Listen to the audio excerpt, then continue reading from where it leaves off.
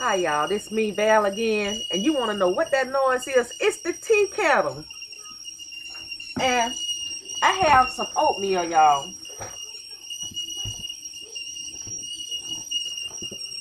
My son had those this oatmeal here. And he left it. This what he was having for breakfast while I was here. But since it's here, I'm gonna fix her some oatmeal. Now she he usually um put his in the microwave. But Valerie from old school, she gonna get two packs of these things. It has apples in it. See? Apples and cinnamon. And you know I had a salad for breakfast, y'all. So I'm gonna open both of these bags because I want to get my feel of the oatmeal. You know, I, I ain't got all this rabbit food on the inside of me right now. So now I'm going to put something hearty in my stomach. And I'm going to use this tea kettle to pour the water in there. And you're going to watch the apples going to swell up and all of that good stuff.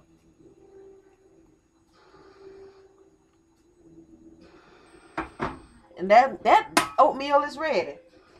All I got to do is mix it up with a pretty spoon, curl up on the couch, finish watching my sci-fi movies. Oh, it smells so good. And eat some oatmeal, y'all. It's cooking now. Whether y'all see it or not, it's cooking. So that's got to swell all up and make it thick. It's going to thicken up. Can you see the steam coming off of that from the hot water? Mm-hmm. Now, I started not to show y'all this because Valerie did her share of videos today. But since y'all didn't see me eat breakfast, well, y'all did see me eat breakfast. I ate a salad for breakfast. What I'm going to do for lunch is eat a breakfast food for lunch, which is oatmeal. Now, I don't plan on coming back for dinner. I've never taken y'all through a whole um day of what I'm having. See, it's getting thicker as as we go. It's getting thicker, swelling up. See that? And you can see the apples. See the apples?